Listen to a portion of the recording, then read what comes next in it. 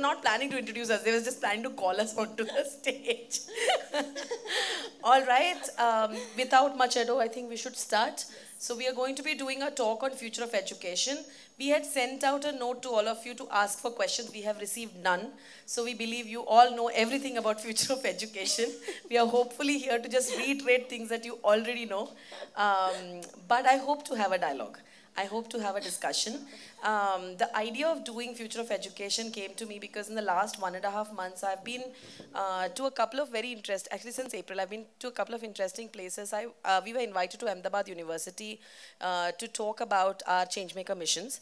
Uh, we were invited to a school, uh, um, uh, middle income school in Chennai, uh, called Vedanta to talk about our Changemaker missions. Uh, we were, um, I was at Cambridge uh, the last week on 3rd of August, and uh, we spoke about our Changemaker missions. And um, there is a context to all of this, why everybody is talking about it. And uh, we thought it would be really pertinent to talk to our community about this this too and why uh, we do a lot of the things that we do. So we're taking this opportunity on the Independence Day to meet you, to talk to you about all of this. Um, those of you who are coming in, don't sit on the side seats. The, the videographers block the view. So you sit a little towards the wing so we can see you too. All right. Let's go, Purva. So, uh, as you said, ma'am, we didn't receive any questions. But when uh, I was thinking about future of education, and when we keep constantly thinking about it, I, I, had lots of questions. So here's what we're going to do. I'm going to ask you the questions that I have and that we have found from meeting with people and thinking about change making and the vision of the school. And as I was thinking, I think the first question is that in today's times, knowledge is so available, and I mean, just everything is available. You know, you can just Google, you can just, in fact, not even Google, you can just ask ChatGPT, not even for answers, but to do things for you.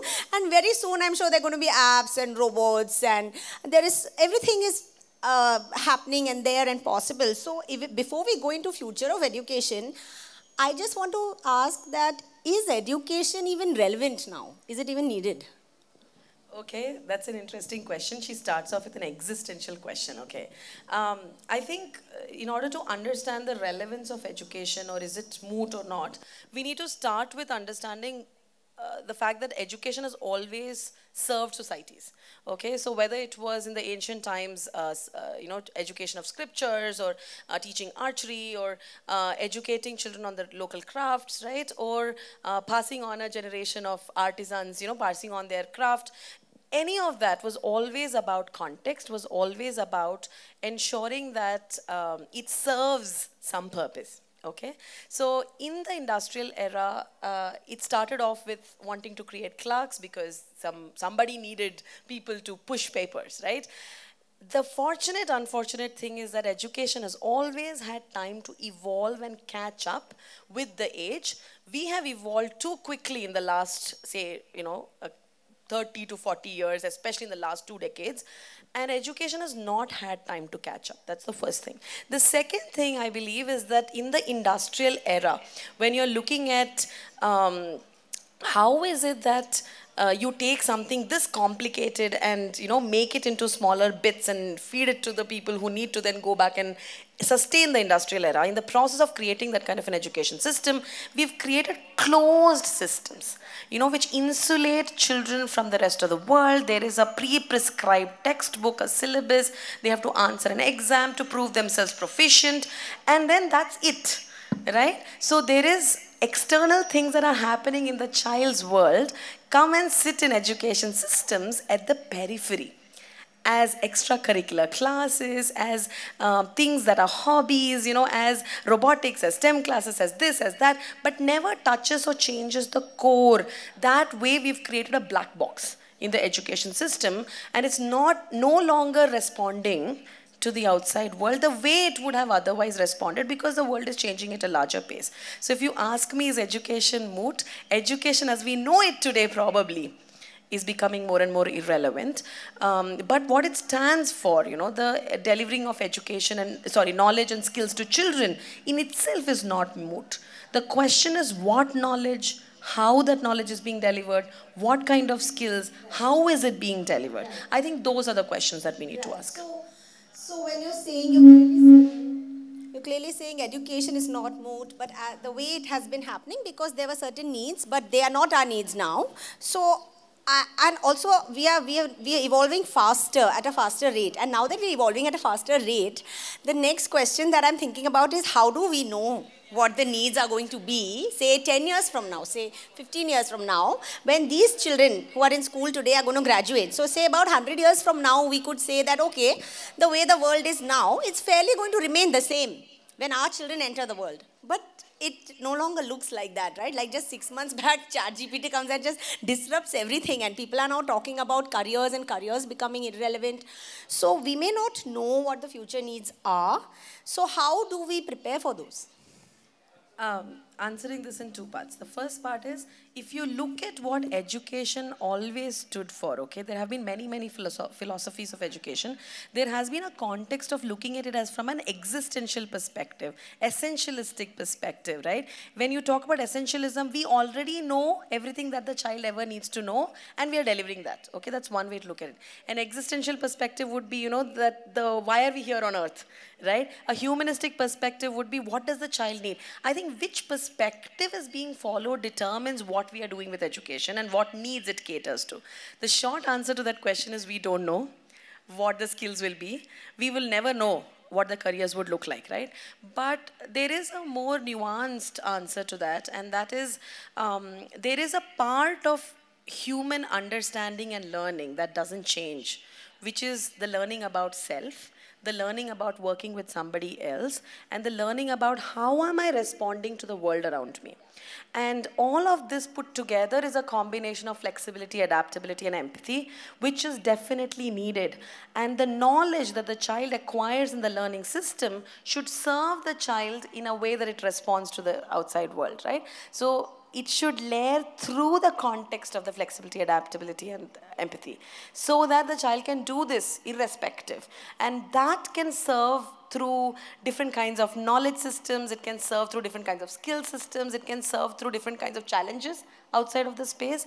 Um, and hence there is a there is some essentials that you can definitely cater to, but the how and the what that getting catered to uh, will determine will be determined based on the context of the child. And in terms of, uh, so you're clearly saying there are some essential things that we need to deliver. And are you saying those essentials are sort of timeless? They, they remain? And the essentials, from what you're saying, what I'm understanding is that there are essentials in terms of knowledge and in terms of skills, but also there are essentials in terms of uh, metacognition and essential in terms of uh, social and emotional skills. Is that what you're saying? Yes, um, but I'm not saying that it remains, certain things are timeless, okay? I'm talking about um, needs of the era, right? Needs of the context.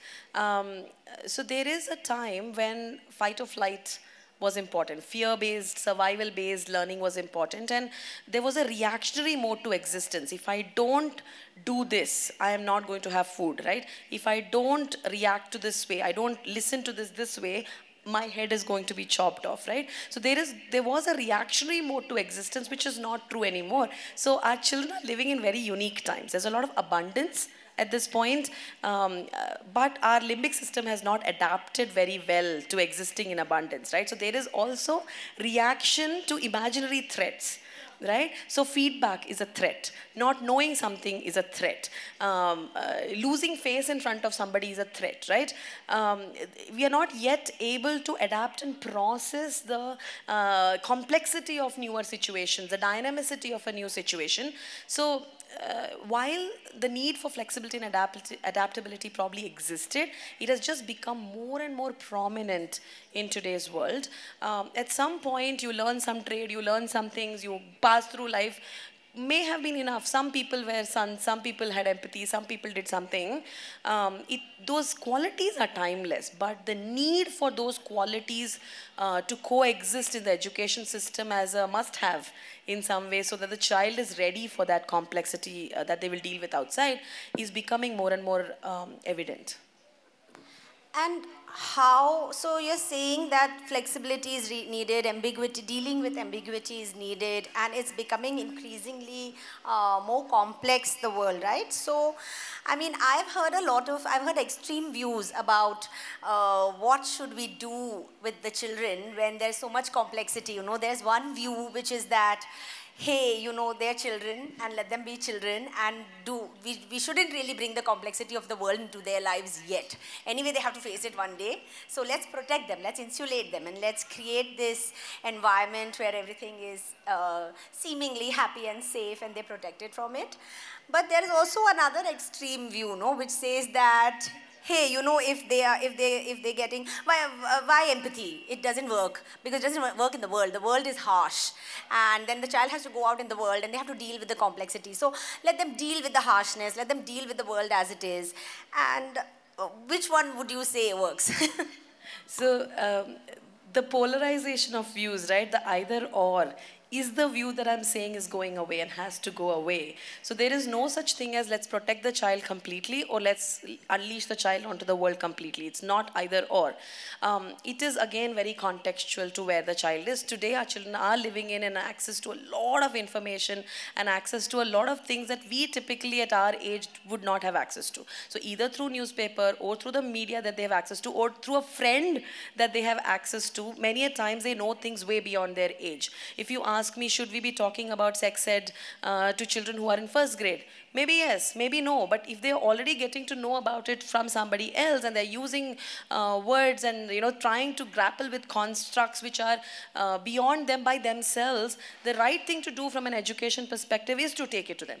And in a way that they have a trusted space to work with, to talk about, to listen to, and um, address the conundrums that they're facing in some way. So when the world becomes, so let me explain what I mean by complexity, I think a little bit more, right? So um, just giving you a spectrum, right? So if you talk about something being simple, it's straightforward.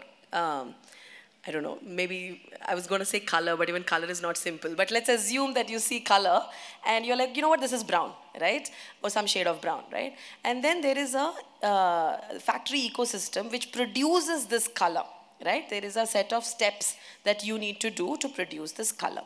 Then there is a ecosystem that is actually complex enough to interpret that color from a, uh, oh, this is for a marginalized population, or this particular color is not really um, catering to this particular, uh, you know, way of interpreting it makes it seem like a stereotype, right? So the moment you start looking at it uh, from a very complex perspective, it is no longer linear process that can be used to solve the problem. The color now means um, stereotype, it now means inferiority, it now means earth, it now means, um, I don't know, barren land, it now means so many different things. Yes, and suddenly. depends where you encounter this brown color with and in what, what context you're using the word brown or the yes. color brown. Yes. Right. So when the child is encountering this kind of complexity, they don't, they're not equipped to deal with it. And the only way they can be equipped to deal with it is if um, as schooling systems, as educational ecosystem, we stop just dealing with the simplistic uh, and just the complicated linear problems and bring in systemic problems into their environment. So lowering the barriers, lowering the walls, and bringing in the world of conundrums that they are facing on a day-to-day basis into their lives. What does that mean? So correct. Actually, I want to say because that is. I mean, she's actually saying something very shocking, by the way, because not only you're not saying that let's one, you're not saying that let's prepare children as and when the complexity comes, they can deal with it. There is no right? way to do that. You're actually saying let's bring, like not even saying let's be prepared for the complexity, but let's actually bring and welcome that complexity in, not even simulate it, but bring the actual world's real big uh, problems and the nuances and the complexity into the world. So I just wanted to say that. Yeah, but not by opening the gate and letting everything. Right. By designing for that complexity to exist right. in the child's environment, this complexity which already exists in their environment. Right. The conundrum between should I uh, choose a donut versus a carrot. The conundrum yeah. between you know yeah. I really I really really like watching uh, this video game or uh, uh, you know spending time on mobile, but you know I also want to go out and play. Uh, but this is dragging me in now. I don't no longer remember how much fun I used to have have. Um, I would like to write a story, but I hate writing, right? That conundrum between having to choose one versus the other cannot be dealt with. The child who sees beggars on the street and is unable to resolve their own privilege and not understanding what to do with it. So, do I solve it by saying, oh, I should give money? I should not give money? What should I do? Uh, one of our children who saw a stray dog uh, roadkill on the street came to school crying. And what should you as a parent or an adult do in this ecosystem? Can you just tell her, it's okay, beta, don't cry? This happens. Nobody has a solution to it. Do any of you know if you see a roadkill, whom to call, what to do? We don't. These complex realities of their current life, I cannot simulate, you cannot simulate, but we can live it with them through frameworks, through discussions, through systems thinking. And that's the only way to help the child learn how to cope with it. Not from a, if I were an adult, um, I don't know, MLA, governor of this place, how would I solve it? No, as a child, as a citizen of this city, as a citizen of this Kanuru village, as somebody who comes to this school, how will I solve this problem? Thinking like that is the only way to help them see that there is a lot of interconnectedness. Why do roadkills don't get uh, uh, don't get addressed? why after knowing that sugar and sugar addiction is bad for children and everybody overall and rising cases of diabetes nobody bans those products right why after knowing that by the way august 2nd was an Earth Overshoot Day i don't know how many of you know about this so far so far this year we've already consumed all the resources on the face of earth that could be replenished in this year august 2nd that means the next 4 months that we are living, we should be living in, I don't know, dread, nothing, backward, returning to the environment. I don't know how to even begin to solve it. But the Earth Overshoot Day happened this year on August 2nd, and it applies to India too. It's not like it doesn't apply to India. So there is no future that you can really prepare your child for. You can prepare them to start dealing with complexity on a day to day basis where they are today with whatever they uh, have and build sufficient inspiration and motivation, intrinsic motivation to want to deal with that complexity, not get frustrated by it. Um, if there is frustration, convert that into how do I find a way? How do I find a way forward? I'm frustrated because I care about it and I want to find a way forward. Yeah, and and ma'am, you were saying uh, that it needs a systems kind of approach, right? So I just wanted you to give some examples of that. Like how do we, what do you mean by when you say a systems kind of approach? Like why can't this be, uh, say a project that, hey, let's see the roads, let's say like a common social science project, right? That let's say the roads are um, not, or the street lamp is not working and now let's write a letter uh, to the municipality to get this. Why can't it be an, a, a small project or like an uh, extracurricular thing they do or some kind of uh, thing like that. When you're saying systems, it, I'm, I feel like you're not meaning this. So what do you mean by systems and how is that different from this? And how does that work? Right. So if you had to name this, you would call this a problem-based approach. So it is not that there is a textbook or there is a syllabus and we have pre-prescribed sections in it. You know, these are the different kinds of garbage and here is what you should do with it or these are the different kinds of sugars, here is what you do with it. And uh, whether you like it or not, you accept my conclusion that what this is unhealthy, this is healthy, and this is how you should eat, this is a balanced meal and that's it, right?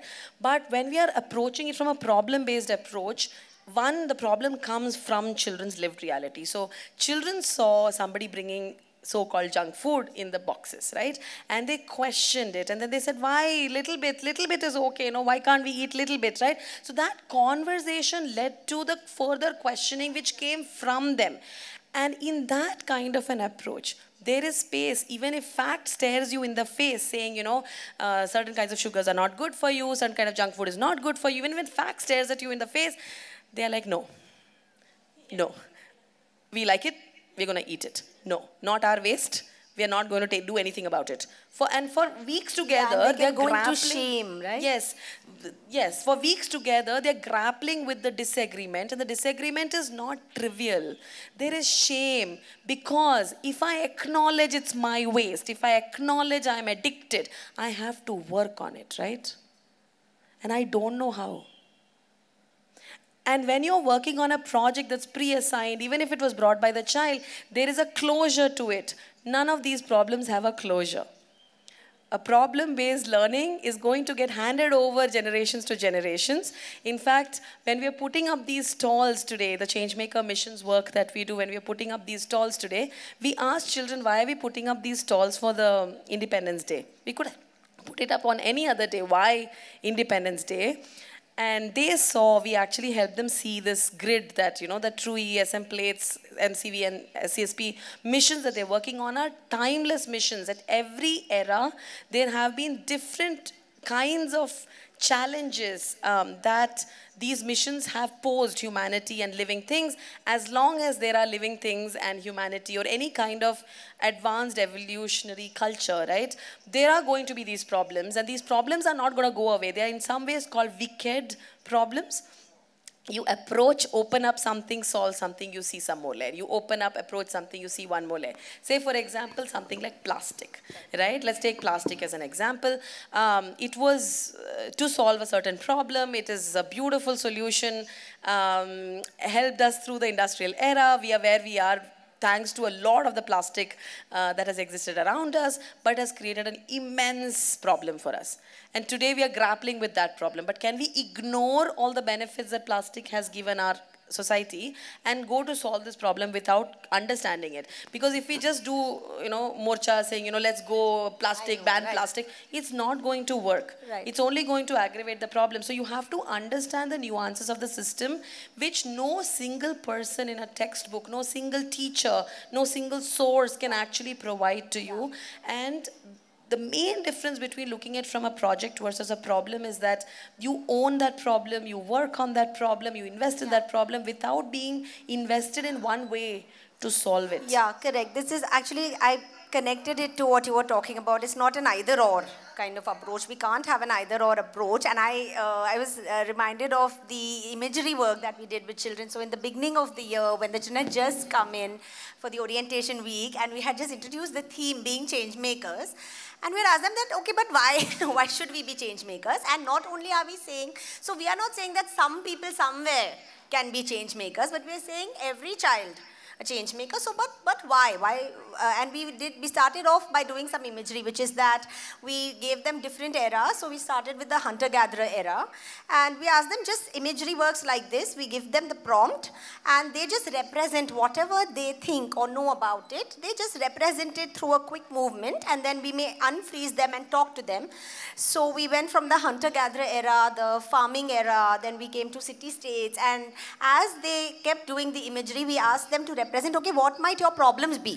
So when they're being the hunter-gatherer and they're doing, they're saying things like, you know, where to find food, how to trust the food. And we saw that from survival, the problems went to little more interpersonal, little more dependency, stereotypes grab came in. Grab for land and power. Uh, correct. Power came in at some point. Um, then there is a lot of free time. At some point after technology came, there was free time. And by the time we crossed technology and we reached the current contemporary era, we had children representing things like robots making robots, and then data getting leaked, and then, uh, you know, whatever they have searched on the search engine is now leaked. There were people who were being researchers and scientists, and somebody was genetically modifying well, humans. Well, Purva ma'am, uh, what did you sell? Identity, I, identity insurance. insurance. She sold identity insurance and all of them bought it. Okay. And they so didn't ask me anything, which company, what are you going to take Basically, what happened is in different, different, uh, so there were about six groups doing the contemporary era and they were showcasing problems. And she said, you know what, they have a, they have a, uh, they're doing hacking and they're basically selling the data somewhere. And then I got, bought all that data and I'm going to leak all your search history from GPT to everywhere. Who wants protection, insurance, identity threat? And they all bought it. And then she's like, you didn't ask me what, why, nothing. You know, you just bought it.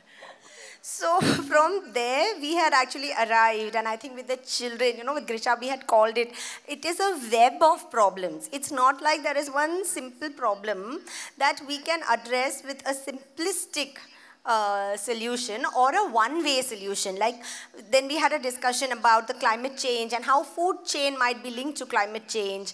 So it can't be a simple solution like that and it can't be a one-time solution also because whatever we do might create some new thing. And then that will have some effect and that effect will again not be like a linear. It won't be like just a domino but it will have ripples and we'll have to kind of see and then there were ethical concerns also that came in, uh, uh, you know. So I just wanted to uh, bring this up and talk about, so we have this web of problems, which is why we can't uh, all the more talk about an either or or talk about uh, okay this is the problem let's solve it like that.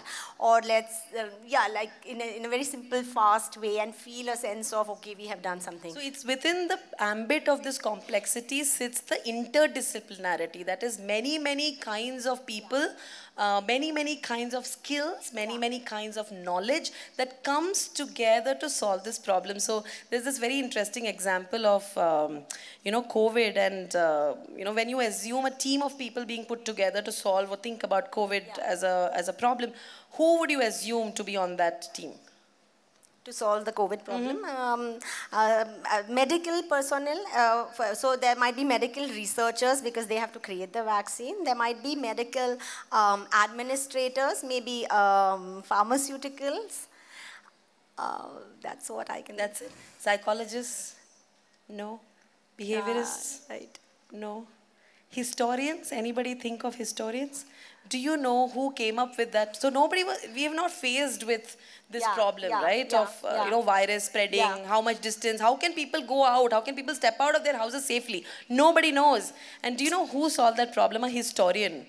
He wow. had access to an archive. He knew where to go get this information about Spanish flu, where people had figured out what kind of a distance would be optimal for the virus to actually travel and figure things out. And he was critical in determining that um, six feet distancing that we were maintaining. Wow. Yeah. So you wouldn't assume that these kind of problems and who would be able to solve them and who is sitting on that inter interdisciplinary teams. Yeah. So even more increasingly, children being able to learn as wide as possible yeah. and multiple kinds of depths for them and being able to see themselves as part of a system, yeah. right, is very important uh, when you were saying this, that children interdisciplinary and children being able to learn multiple things and not multiple things in the sense of jack of all trades, that kind of thing, but multiple things. So there is width, but in each thing there is also depth. But you know, there is this whole debate and discussion about niche that we should help children. Probably there'll be, and it'll get more and more niched and very niche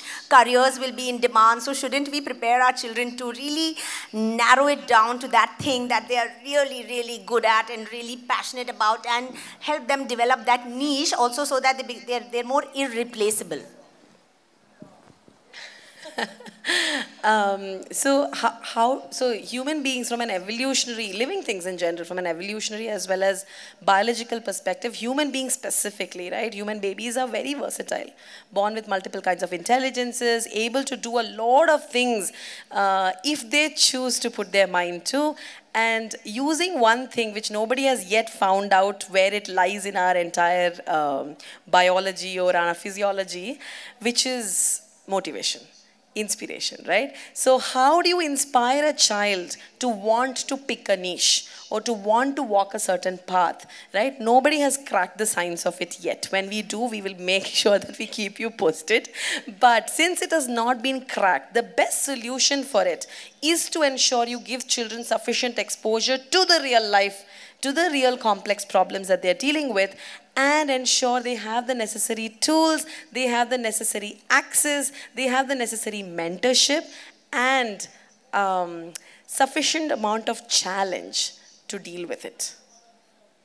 Okay, so I mean, as we are talking about all of this, we have so far said that it's complex, we need to uh, bring the complexity in. There in is one more yes, problem, yes, right? So yes. if we were to ask or start tuning a child in a certain direction, saying, oh, you pick this niche or that niche, there is an ethical problem at play, right? Who decides that?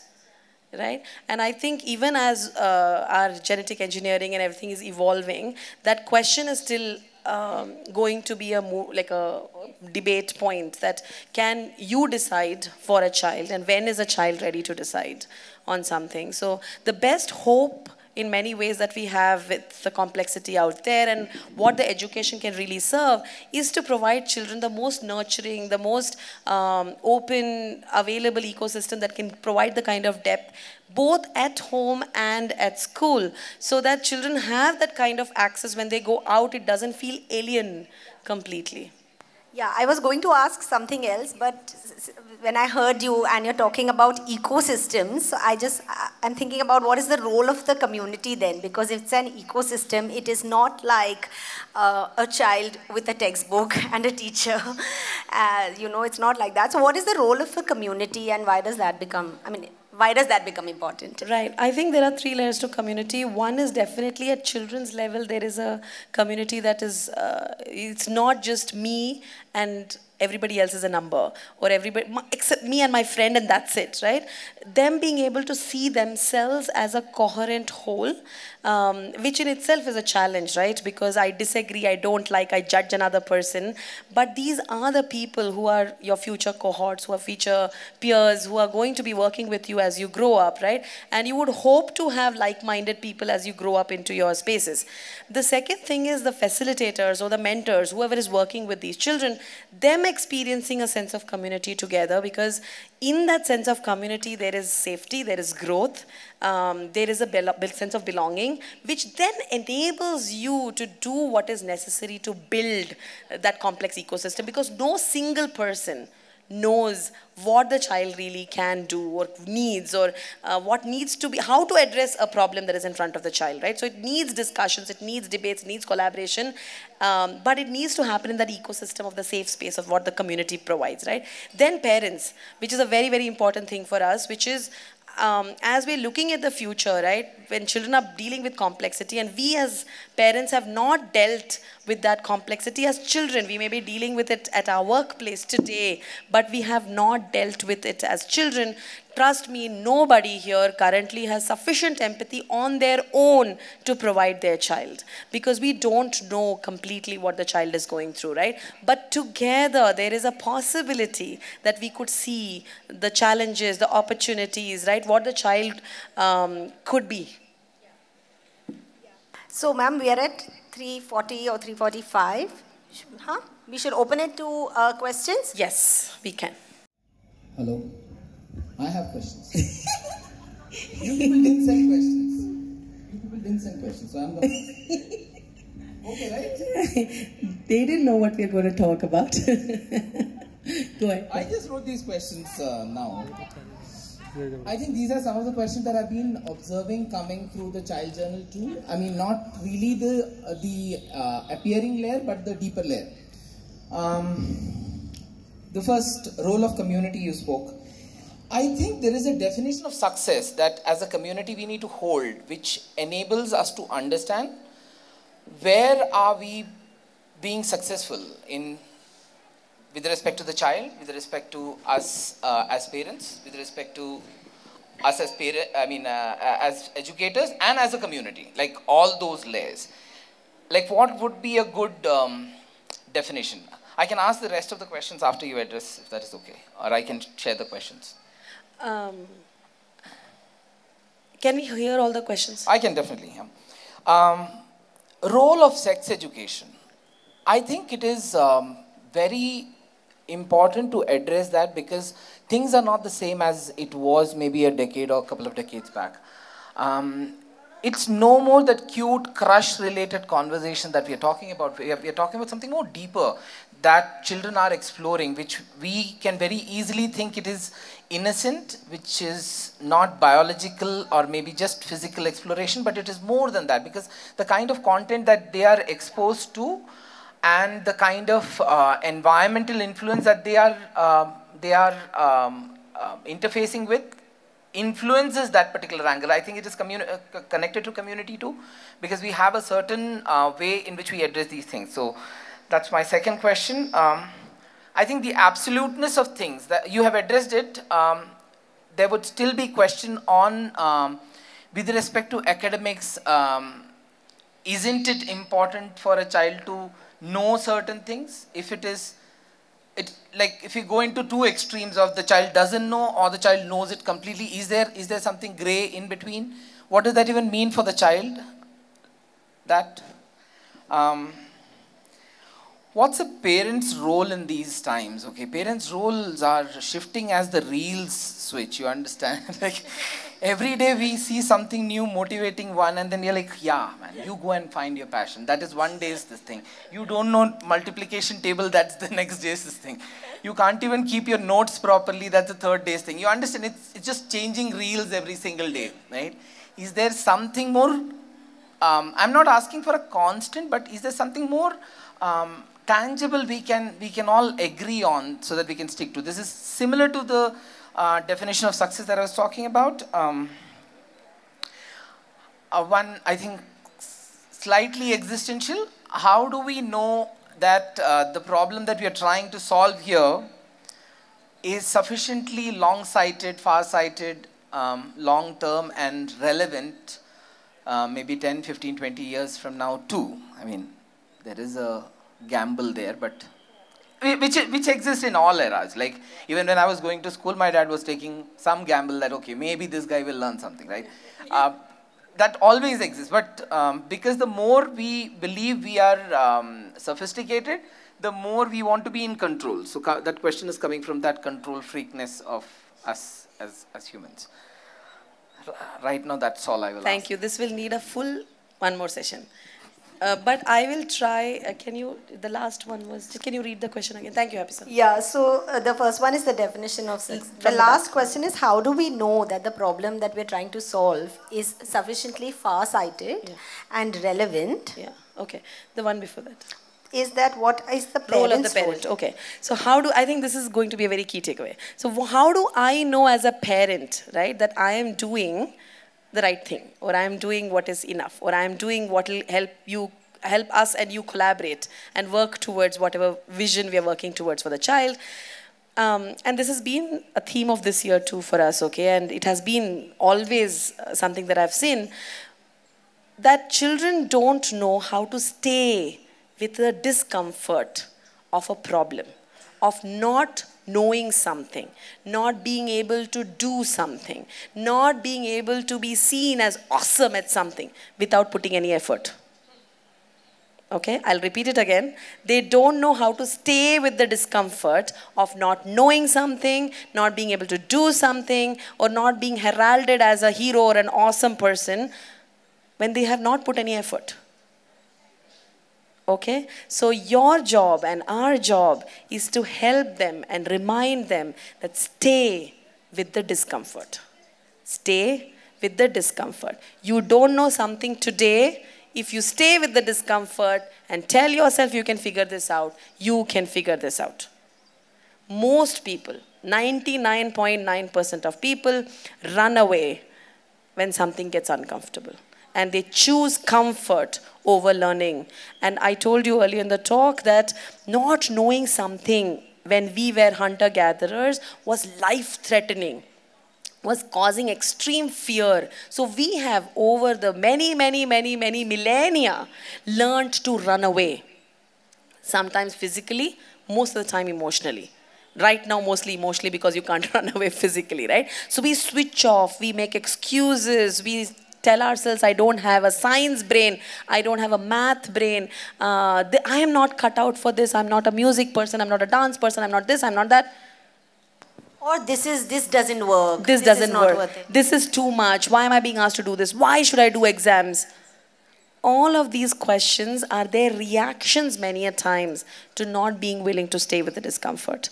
So somebody was asking me that day, oh, my child, multiplication table, this, that, right? I told them one thing, right? If you help the child stay with a problem and stay with that discomfort, not I don't know this, what do I do? I can't do this. They're in a hurry. They're in a very, very fast paced hurry, right?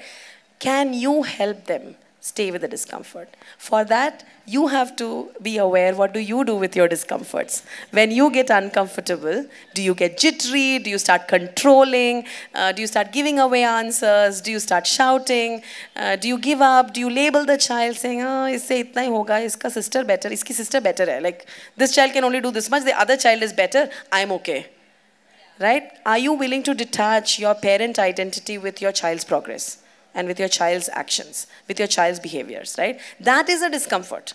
Being so attached to my child's success, right? Once you start doing that, you have enough distance to actually start seeing, oh, all my child is feeling is some discomfort.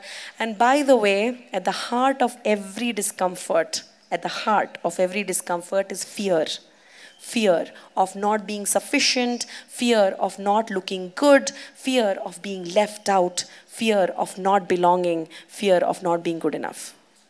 Fear. And at the surface of most of this is perfectionism.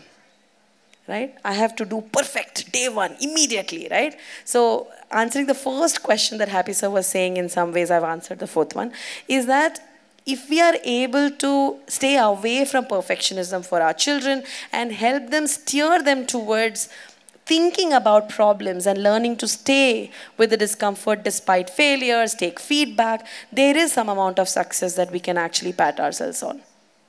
Right? And if you have not yet started seeing it in your child, that is a discomfort you will experience. It's not already there, right? Stay with that discomfort, okay? It's not there. Why isn't there? Where is the fear coming from? What in the ecosystem or the environment could be driving the fear, right? And that is what will lead to helping them stay with the discomfort, which will then enable them to overcome their need to look perfect. Which, if they are able to learn to let go, flexibility, adaptability, systems thinking, any of those 21st century skills can be made to sit on the learner, the learner persona right?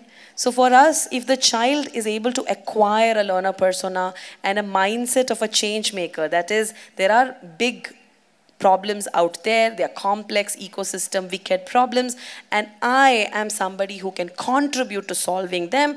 Everything that I develop, my skills, my knowledge, um, my accolades, right, should contribute to surviving and uh, putting effort into building a better ecosystem for everybody else, then we can declare some amount of success in some ways, is what I feel. I think I've answered some of them. What's the other one? So there was a role of sex ed, and then there was one about academics and certain kind of knowledge. Yeah, sex ed, I will do another session completely on that, and he's right, there's a lot to talk about. Academics, I will never tell you academics is not important. Without the knowledge, the interdisciplinarity will not work. Skills sit on knowledge. Basically, it's a it's a tango, right? I wonder. Uh, I create wonder, I inspire children. They engage with that content, they develop some knowledge and skills, which again layers more skills, and it goes from there towards building connections into the problems they are working with, and then mastery, mastery, mastery, mastery. But this mastery that they are developing is only a very small portion of everything widely that they're getting inspired with and inspired by. So they're also learning how to learn, how to master themselves. So you will see, you know, the choir that is going to perform, the singers who are singing here, right? All of these people actually role model learning by themselves, learning something by themselves, and not just being taught in a certain way, note by note, to be able to perform this. A lot of the choreography that you're going going to see with children doing the history in perspective that you're going to watch is all done by children through us having taught them imagery. Okay, and there is a layer of um, mastery that we help them tighten and build, but there is a lot of ownership that comes out of an inspired child who wants to learn, who wants to figure this out. Let's not put the cart before the horse. The horse is the inspiration, it is the motivation. As long as that is there and the thirst to learn exists, we can hope to create change makers in this world, which the world badly needs today. Yeah, yeah. And I was just thinking when I was saying that the mastery is not for the sake of mastery, right? Like, for instance, learn the tables to learn the tables is a kind of mastery for mastery. Or for exam, or, or because for an on a exam, like you're saying, the closed system, which is just serving itself. But the mastery is so basically, say, with the drama children, if they are very sure and the purpose is set that we really want to communicate to the audience, then obviously you need mastery to be able to do that. You need your voice to work. You need to know, first of all, you need, you need to start with the knowledge of the script. So on that, then when the mastery sits, it's, um, it's, it, it's more purposeful and you don't need fear to drive it and children uh, own it with you, something I Yes. So one of the things that uh, Minesh was asking me earlier is what I started with, but I will end with that. How do I know, or how do we know that the way we are trying to solve this problem, or the problem that we are trying to solve, uh, is at least uh, some amount of long vision on it is that um, there is sufficient evidence coming from all the workplaces as well as the way international forums on education are moving, the way universities in this world across the world are moving. So I've been having a lot of conversation with people across the world on universities in India and a lot of liberal arts education uh, and otherwise in professional education too. They are saying, yes, this child has scored 99.9%, but what else? Show me something more right? I want a more um, wide ranged child. I want somebody who is passionate, who wants to make a difference in this world. I was speaking to somebody who actually trains people to become music production uh, people plugs children into that space. It's an education uh, uh, university. And, uh, you know, we said we're a small school which does this kind of work. He said, that's the kind of children I want to talk to, right? You are on the right track on working with children, on inspiring them, on helping them see what is it that they want to see as they grow up, right? And um, when it comes to, oh, I will go out in the world, will I be equipped to deal with competition?